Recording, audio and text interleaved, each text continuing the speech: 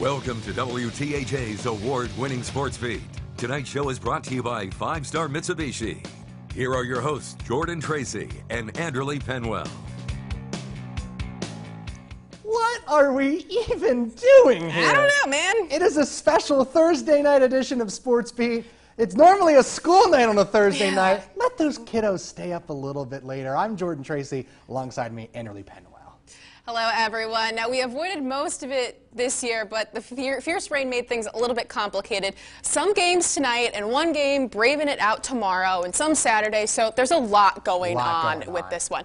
We'll begin with the District 6 6A title game between Altoona and State College, a rematch of the 2020 title game. So let's go to Alumni Stadium at Bald Eagle. Like I said, District 6 6A championship. State College will be in the maroon, Altoona is in the white. First drive of State That's good College. clarification. Yeah, it, it was a lot, actually. This one was all Deontay Sheffy, taking this one in from close for the early 7-0 lead for State College. In the final moments of the half, Altoona gets on the board, though. Alexander Yost's three-yard touchdown run ties the game at seven each. All right, got a game But the break. Little Lions and Sheffy take the lead heading into the half. Sheffy finds a hole and is in for his second touchdown of the half as Little Lions lead 14 to 7 at the break. Now, third quarter, Dante Nastasi, the other kid with the green shoes and the matching green gloves, sheds a couple tackles and is in for the score. Now, check out Dad, Joe. He has to love this one. And Ryan Risky did a story on Dad and Son that's on our website. And State College wins this one 28 to 7. All right, a 4A sub-regional between Juniata and Du Bois. Juniata up 3-0 at the half. Third quarter, Aaron Kanegi hands it off to Waylon Ehrenzeller. Finds the edge and 11 yards for the score. Juniata up 10-0.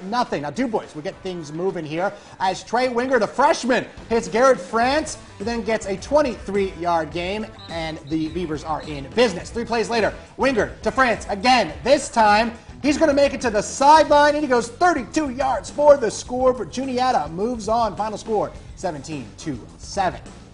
All right, let's go back to battles for a title District 5 AA championship between Berlin and Westinghouse. This game sounded like a Mountaineer home game from the start. Now, first drive of this game for Westinghouse, and Cleo Taylor jumps over a guy and gets all the way to the one yard line. Collect some coins. Yep, where he'd punch it in on the next play. Love a hurdle there.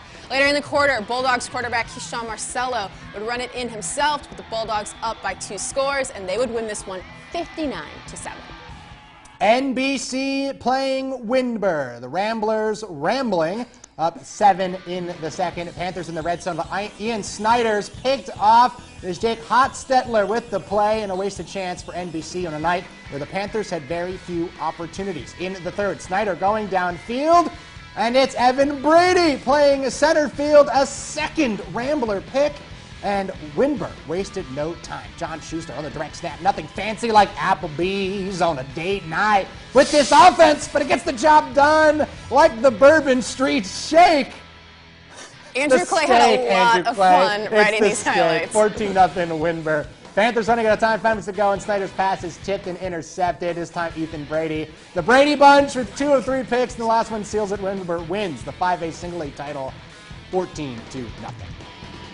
Believe it or not, we actually have some more action to show you. All right, well, I can't believe it's not butter still. Coming up after the break, Richland and BG face off for a chance to play for the District 6 title. Don't go anywhere.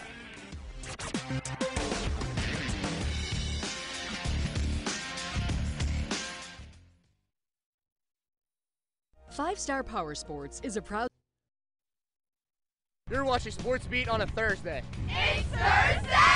You're watching Sports Beat on a Thursday, baby. We're watching Sports Beat on a Thursday! It's Thursday! It's a sports beat on a Thursday. On Thursday? You're watching Sports Beat on Thursday night! That's right, it is a Thursday. Thursday. Welcome back. Penns Valley hosting Bald Eagle in the District 6 AA semifinal. The Rams student section going with the whiteout on this one. 7 0 Rams early in the second, and Carson Nagel takes a shot downfield, and Cameron Watkins coming down with it for the 45 yard gain. Two plays later, again, it's Nagel lobbing this one up for Hale Burns for the 25 yard strike. As he gives Risky Biz a good scare on the sideline there. Thank you for not getting Not run over. Seven- Biz. 7 7 in this one. Three plays later into the next Rams drive. Roman calls his own number. And Scapers 55 yards to pay dirt to put Penns Valley up 14 to 7. And the next play from scrimmage, Nagel drops back and unleashes a deep ball to a wide open Watkins, 70 yards for the score. Run, run, run, he goes. This game's tied at 14. A couple minutes before the half, Penns Valley with some trickery here. Some trickery. Dan and Chris Center, a wide receiver tossing this one up for Roman on the touchdown as Penns Valley defeats Bald Eagle 34 to 14. On the other side of the bracket, it is Richland hosting Bishop Guilfoyle. Let's get to it. First quarter, Rams quarterback Sam Penna swings into Austin Yarnick, who gets just enough for the Richland first down. A few plays later, Evan McCracken on the direct snap dives into pay dirt, and the Rams lead 8 to nothing. Second quarter, Carson Keseyweather for BG takes a hit but gets the screen off to Drew Abraham. He'll hustle doo, doo, doo, down the sideline for a Martyr first down. A few plays later, it's Keseyweather keeping himself, but he's not alone. With a little help from his friends, gets into the end zone and ties things up at eight. Just push me, fellas, and I'll take it to pay dirt. Later in the half, it's Keseyweather again on the QB dive. He'll power his way into the end zone to take the 15 to 8 lead. This one was a battle as BG wins it 32 to 22. We'll move on to the District 6 AA title game against Penns Valley. Now, more action tomorrow with St. Mary's and Clearfield play for the District 9 3A title at 7 p.m. in Brockway. On Saturday at 1 o'clock game, sub-regional matchup between Juniata and Dubois at Dubois. Then at night, all 7 p.m. kickoffs for the District 6 semifinals. Portage at Penns Manor and Cambria Heights at Northern Cambria. The District 6 3A title game between Central and Penn Cambria, Penn Cambria will be at Mansion Park in Altoona. And finally, the District 9 2A title game between Central Clarion and Brookville will be played at Karns City. Man, a lot of action. Kind of wacky. Kind of wacky. We're here on a Thursday. I can't believe it. We won't be back tomorrow. There is one game. We will have those highlights. But we will see you when we see you. Bye-bye. Take care. Thank you.